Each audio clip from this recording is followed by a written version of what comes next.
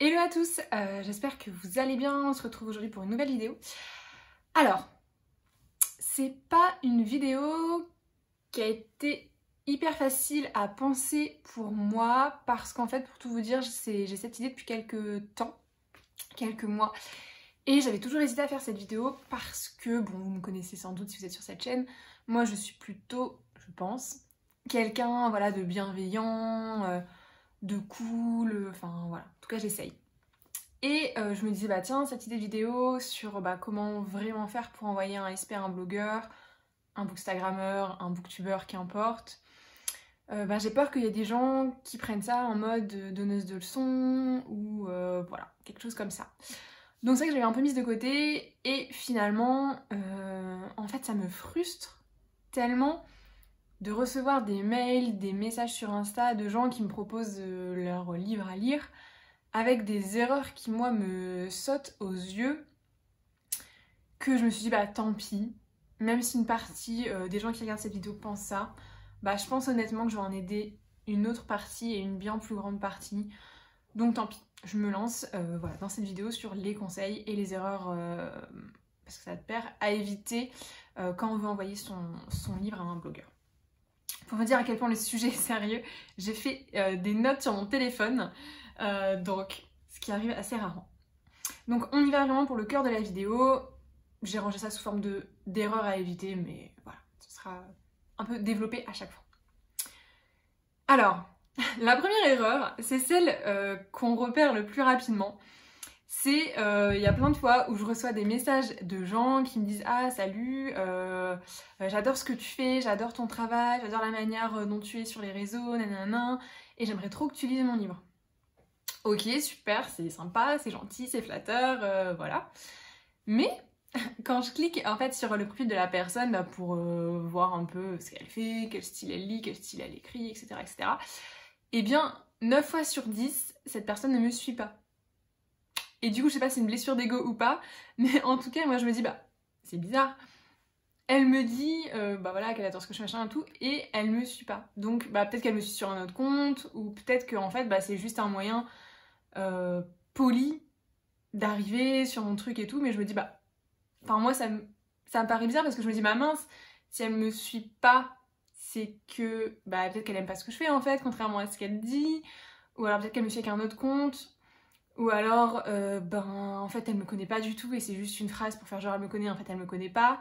Donc, si elle me connaît pas, bah, comment est-ce qu'elle peut savoir que euh, ce que je lis, ça va aller avec ce qu'elle, elle écrit, enfin voilà. Donc, quand vous dites que vous adorez le travail de quelqu'un, montrez quand même que vous la connaissez, quoi. Même si vous la suivez pas, c'est pas grave. Même si, euh, bon, presque comme un indicateur, moi je trouve. Peut-être que vous la suivez avec un autre compte, hein. c'est possible, que celui avec lequel vous écrivez le message. Mais c'est quand même de dire, euh, enfin, je sais pas, tu m'as donné envie de, lire tel livre, ou, euh, enfin voilà, quelque chose comme ça pour vraiment montrer que vous connaissez cette personne.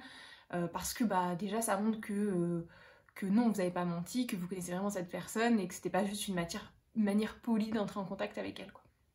Donc voilà, donc ça c'est l'erreur euh, que moi je. Enfin, que ce que je considérais comme une erreur qui se voit tout de suite. Et ça me donne pas forcément confiance parce que je me dis, bah, il y a quand même une chance que cette personne, euh, du coup, ne dise pas la vérité en disant que. Euh, en disant ça, quoi. Donc voilà, première erreur classique qui se voit de suite.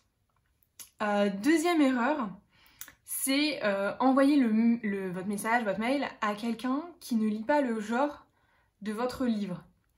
C'est-à-dire que moi je ne compte plus euh, le nombre de messages que je reçois en disant Ah salut Claire, euh, voilà j'ai écrit un livre Young Adult fantastique, voilà j'ai eu beaucoup de bons retours, est-ce que ça te dirait de le lire, etc. Ben moi je lis pas trop de Young Adult, je lis pas trop de fantastique, honnêtement par Blackwater, où j'avoue je me suis laissée un peu entraîner et je regarde pas du tout parce que c'était une série que j'ai adorée bah, je lis très peu de fantastique, quoi. J'ai lu Harry Potter, j'adore Harry Potter, mais c'est tout. Et en young adulte, bah, j'ai dû en lire, mais j'ai même pas un titre à vous donner là sous la main. Je sais même pas si j'ai lu un livre de young adulte euh, dans, les six derniers, mois, voire dans l'année qui vient de s'écouler. Donc, bah, ok, c'est pas forcément cet argument-là qui va me donner envie de lire le livre, malheureusement. Et c'est dommage, parce que en fait c'est juste euh, une classification et c'est assez simple de trouver des gens qui lisent bah, le style que vous écrivez sur Instagram, sur Booktube, sur euh, YouTube, qu'importe. Voilà. Après, je sais honnêtement que dans la très grande majorité des cas, ces gens-là, ils viennent vers moi parce que voilà, ils voient mon nombre d'abonnés et ils se disent ah c'est trop bien, euh, je vais potentiellement pouvoir toucher 12 000 personnes si elle fait une chronique dessus, machin, machin.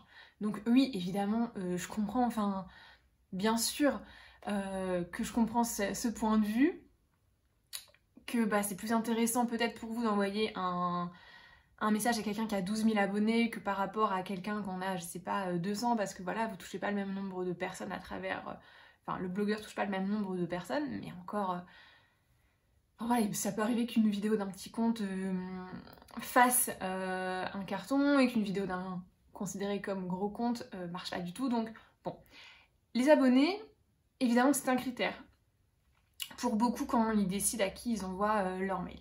Mais en fait, je pense qu'il faut plus se concentrer déjà sur le genre. C'est-à-dire qu'entre une personne qui a 10 euh, 000 abonnés mais qui lit pas du tout de fantastique, et une personne qui en a, euh, je sais pas, 3 000, 4 000, 5 000, mais qui elle ne lit que ça, bah en fait, moi je trouve que c'est beaucoup plus intéressant d'envoyer son livre à ce compte-là, parce que bah, si la personne accepte, et elle a beaucoup plus de chances d'accepter, puisque bah, c'est son style de lecture que l'autre, ben vous allez toucher peut-être, si euh, on va dire, il n'y a pas... Euh, on va dire peut-être que vous allez toucher, entre guillemets, que les gens qui la suivent, et, voilà. Mais en fait, vous allez toucher des centaines, des milliers de gens qui, s'ils la suivent, c'est parce qu'ils lisent du fantastique. Donc en fait, finalement, avec ce compte qui, peu, qui a moins d'abonnés que l'autre, vous allez toucher beaucoup plus de potentiels lecteurs que l'autre. Parce que l'autre, euh, si la fille elle lit pas d'abonnés, bah elle lit pas de fantastique, pardon, bah les gens ils vont pas là-dessus pour avoir des conseils en fantastique. Enfin, si les gens qui lisent du fantastique, ils vont plutôt suivre des gens qui en lisent aussi. Donc, regardez plutôt à ça et essayez de, de, voilà, de vous tourner plus vers des gens qui lisent votre, livre, votre style de livre. Parce qu'honnêtement, bah moi, si on m'envoie un message comme ça, bah désolé, mais c'est pas du tout mon style en fait. Donc, c'est pas cet argument-là, en tout cas, euh, le fait que ce soit fantastique ou young adulte, qui va me donner envie de le lire, parce que c'est pas mon style tout simplement. Mais ça c'est valable dans tout, hein. si euh, vous êtes euh, quelqu'un qui mangeait très peu de viande, et que vous avez une copine qui vous dit Ah, viens, il y a un super resto de viande grillée qui a ouvert à côté de chez moi.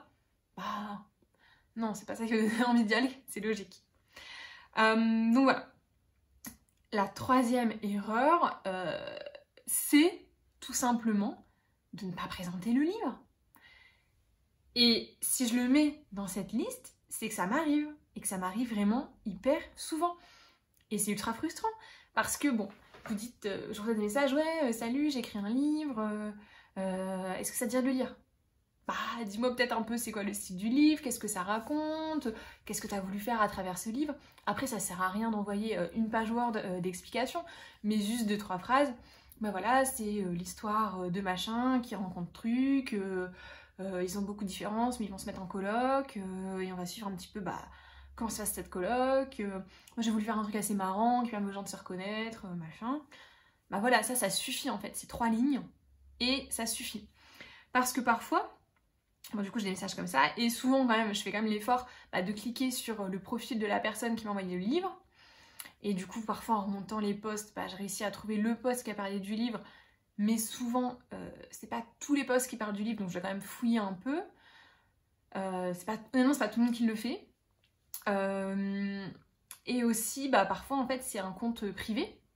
alors, privé soit dans le sens privé, donc vraiment, j'ai pas accès au profil. parce que je le suis pas, soit privé dans le sens où bah, il, ça va être des photos de ses vacances avec ses copains, machin machin, mais ça va parler de son livre, et du coup bah, j'ai pas plus d'infos sur le livre. Et du coup, faudrait que je fasse une recherche sur Google, machin. Enfin, honnêtement, souvent, si j'ai pas l'info sur euh, la plateforme, j'avoue que je ne fais pas l'effort d'aller euh, au-delà de cette plateforme parce que bah, sinon, je sais que je vais devoir chercher, etc. Je suis même pas sûre que c'est la bonne personne. donc, bon, voilà. Donc, c'est tout bête, mais c'est indispensable. Écrivez 2-3 lignes sur euh, votre livre. Et aussi, précisez le livre. C'est-à-dire que si vous avez écrit 3 livres, N'envoyez pas de mail euh, ou de message en disant euh, Ah tiens, j'ai écrit trois livres, est-ce qu'il y en a un qui te plaît et tout.